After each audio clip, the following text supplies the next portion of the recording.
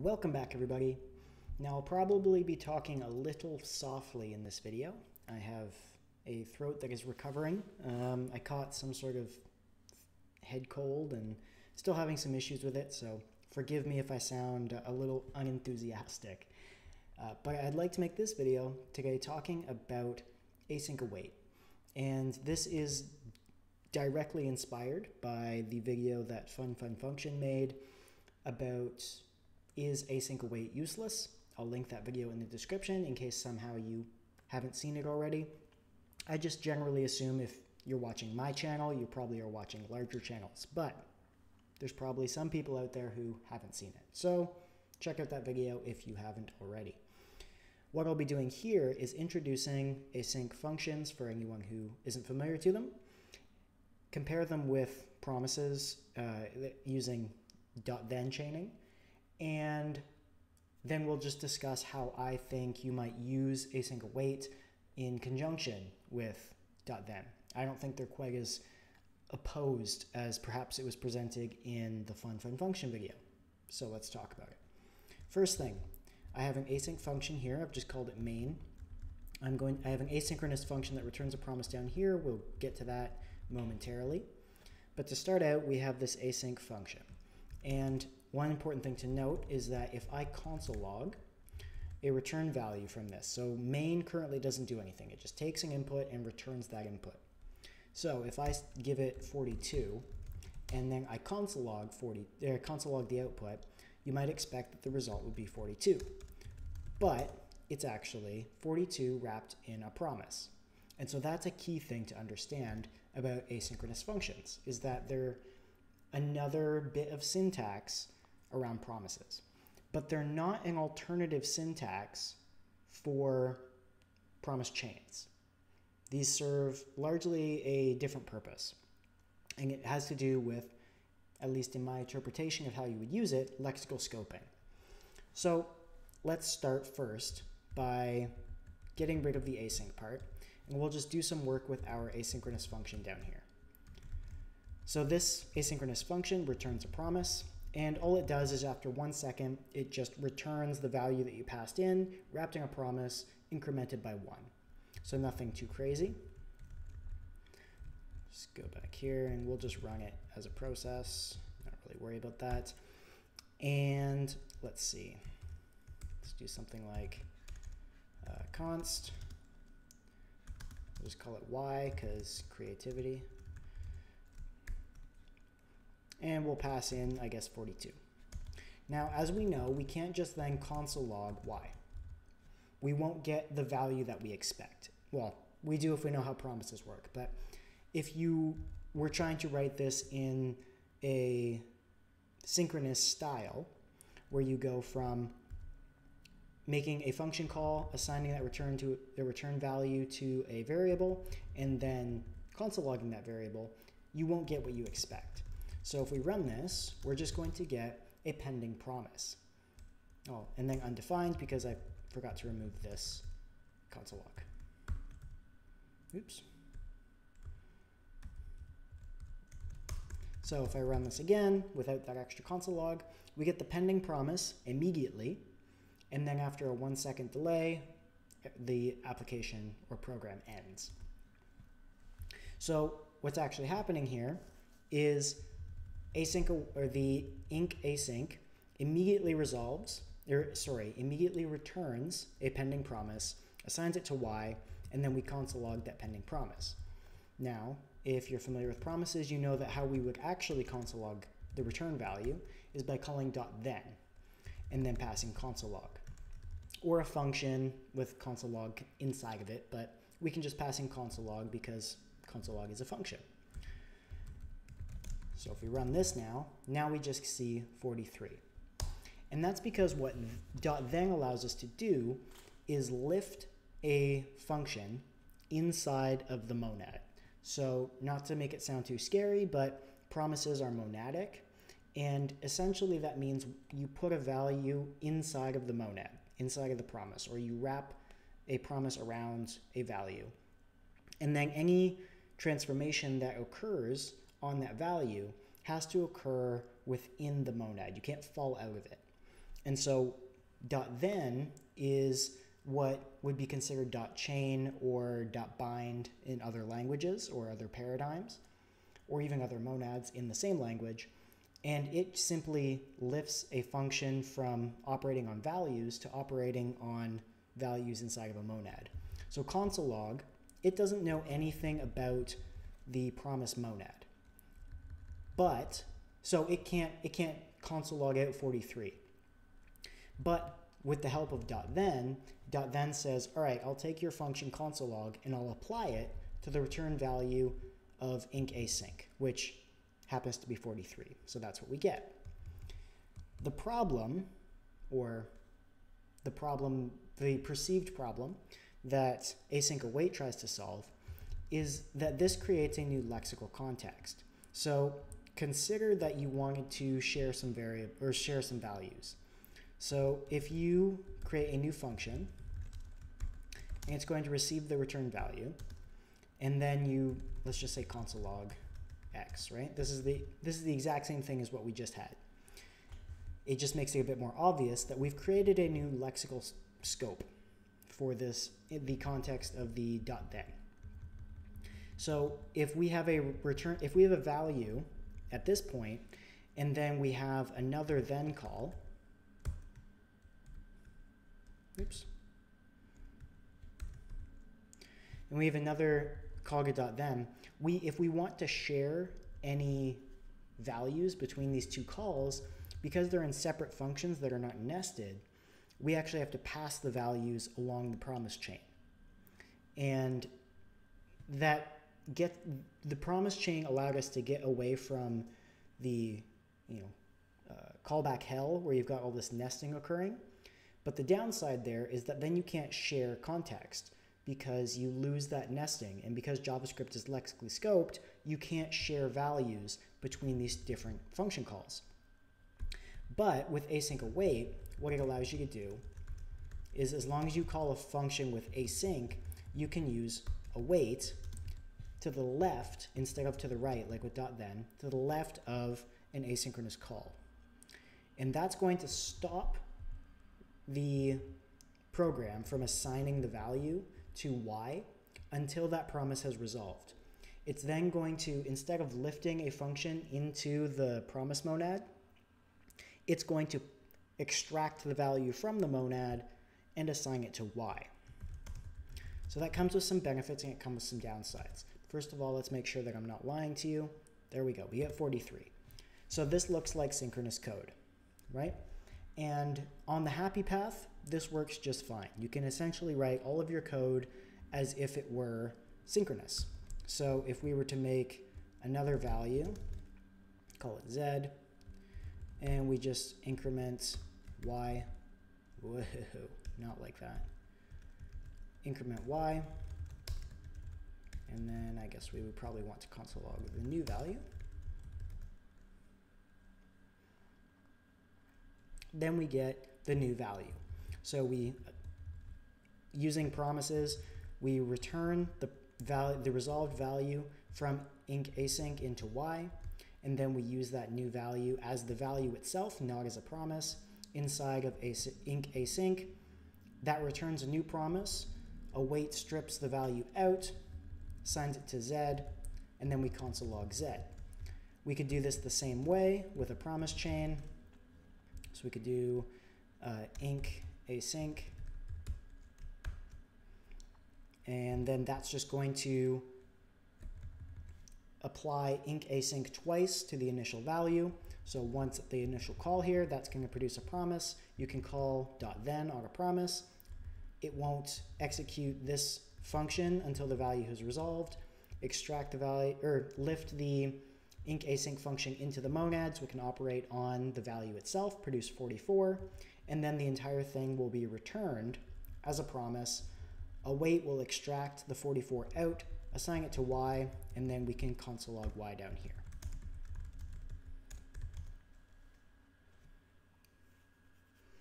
So that still works the same way. And this pattern We'll get to error handling in a second, and that's why I prefer this pattern. This pattern, based on my limited exposure to async await, is how I think you should probably use async await. Not in the way I showed a second ago, so this way.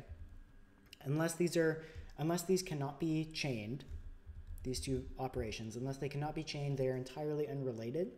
I would say that this is the this is not the preferred way to do program design or application design using asynchronous operations.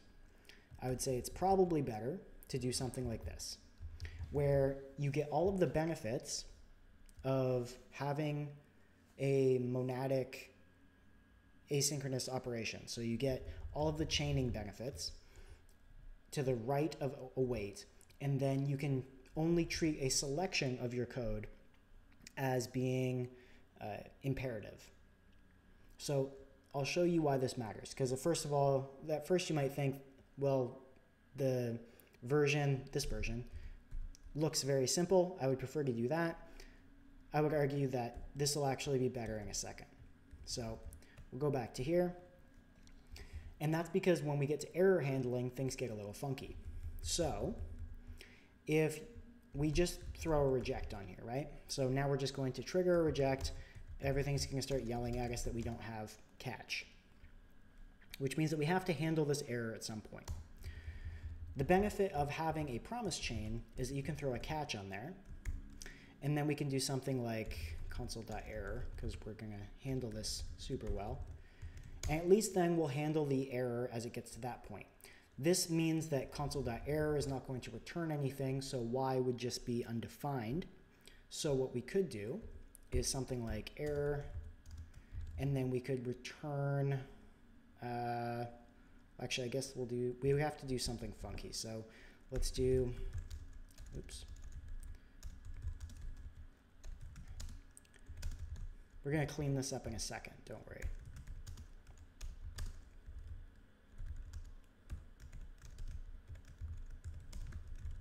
So this should work just fine. It's going to console log the error and then, or console.error the error and then return the error as the value for y, which obviously we don't want. That's misinformation. And then console log it again. See if this works properly. There we go. So at least now we're, we're catching the error. So we don't get an unhandled promise rejection warning. And that's the benefit. This error propagation is the benefit of having the promise chain. Any error that occurs along the promise chain gets just passed up to the single catch. And as long as you make a valid error statement, this is very beneficial. It gives you very clear information and it handles it very elegantly.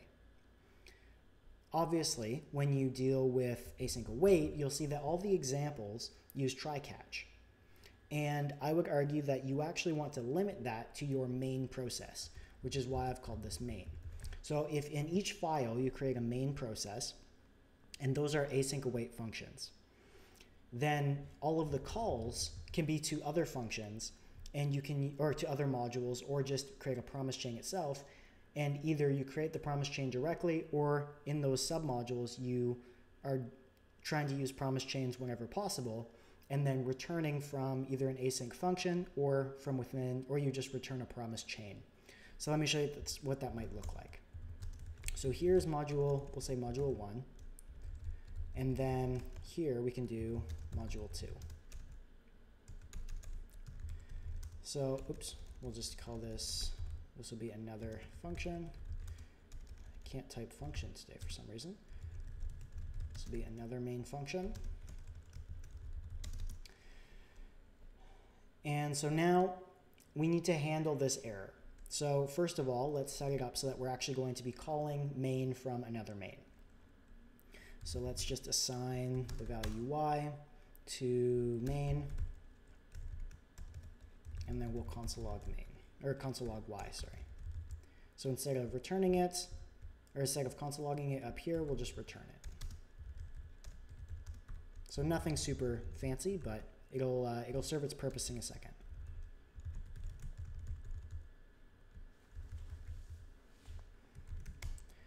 Okay, so let's just make sure that the behavior has stayed the same. Where am I console? It must be this here. Yes, because I need to await that.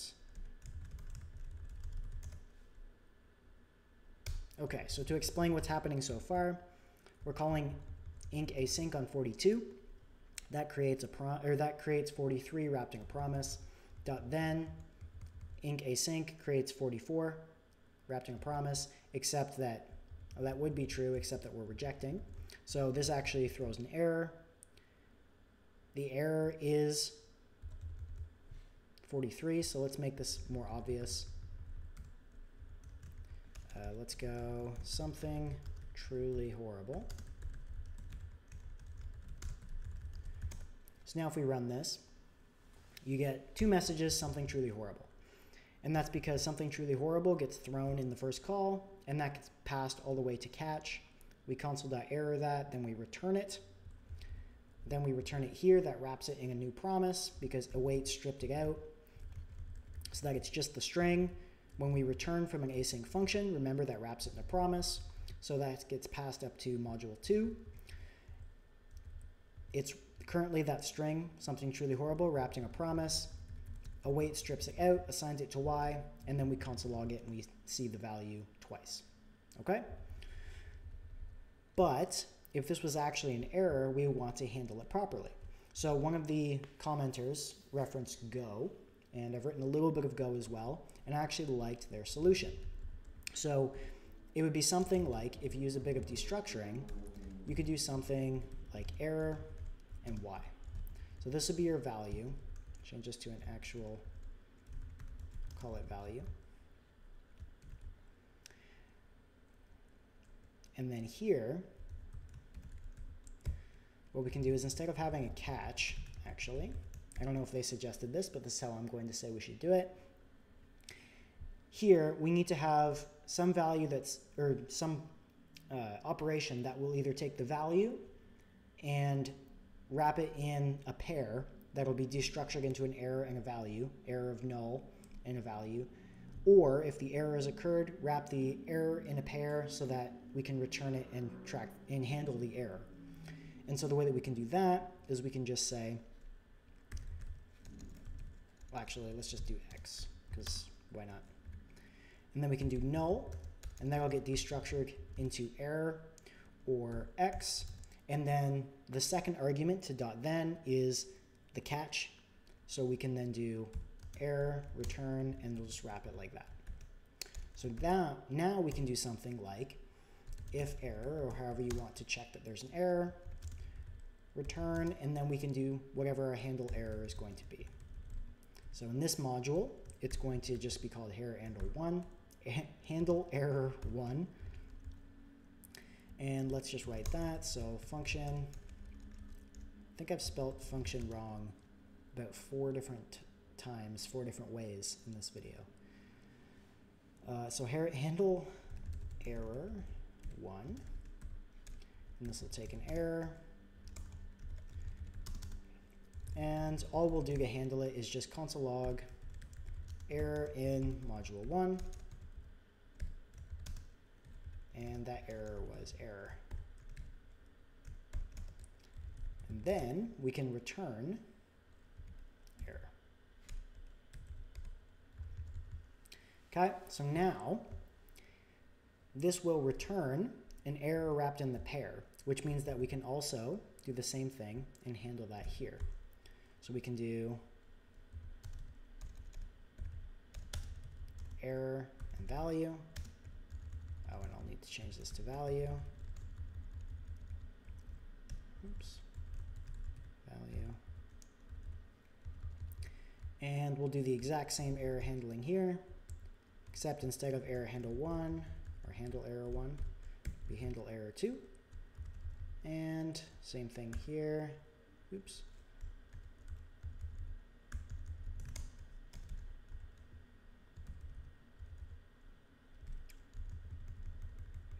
be in module 2. No, run. Node run. There we go. So now we've got an error occurred in module 1. The error was something truly horrible. Error occurred in module 2, something truly horrible. Now, obviously, all we're doing is just passing the error from the call, the place where the error occurred into the module that actually called the module where the error occurred but it allows us to handle the error however we want. So if we need to log this somewhere, then we could log it. We're, continu- we're deciding to continue passing the error along, but we could potentially terminate there if we needed to. Now this is a little bit gross, having to write that. So I would say that what you could do is make something like a wrap function. I'm just going to call it wrap. You could call it whatever you want. And it would just take your value and it's just going to return null for the error and then the value as the second the, uh, element of the pair. And then there's another misspelling of function. Uh, we could do something like handle, just because catch will throw an error, which is a shame because catch would be a better name. Return error. Let's call that error. Which means then we can just go up here, and at the end of each promise chain, we could just call wrap, and we could call handle. And that allows us to handle any errors. And that means that we only have to do this if error on the main process. So the main process will be where all of our all the lexical scoping of shared variables needs to it can occur and everything that doesn't need to be shared can be done in a pure functional style inside of our promise chain. So if await was just calling some function, so let's just say some function, and it was going to take 42, and then that some function contained an entire promise chain, that's going to, and then just returned that promise chain. So I'll actually show you what that would look like. Function, some function, x, return,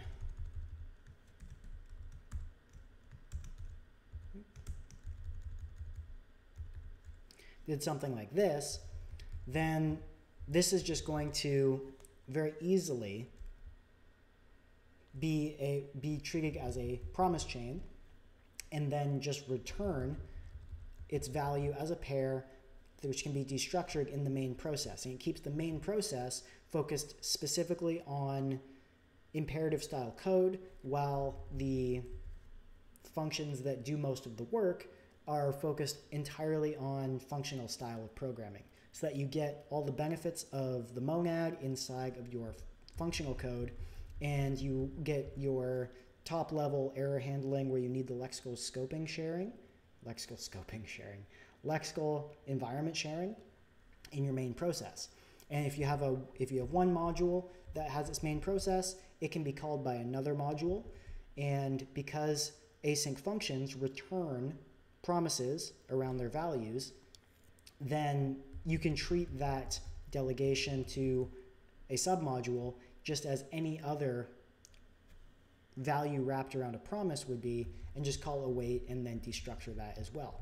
So let's go up here. This would need to be wrapped. Yes. We need to wrap our return value here. And first of all, let's just see how, how this goes. Everything blows up. Some function is not defined. I probably spelled it wrong. I have a tendency of doing that today. Also the problem when you're going to write, there we go, a bunch of code without your linter so that it doesn't yell at you for all the things you're doing wrong. Uh, makes it harder to spot errors, which is why linters are great. Uh, so now what we'll do is stop rejecting and we'll see if this works properly. So instead, we will resolve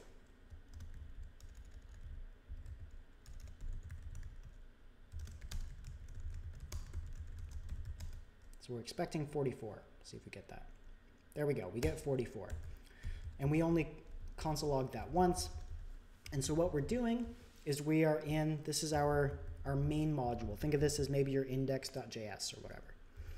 And we have this submodule.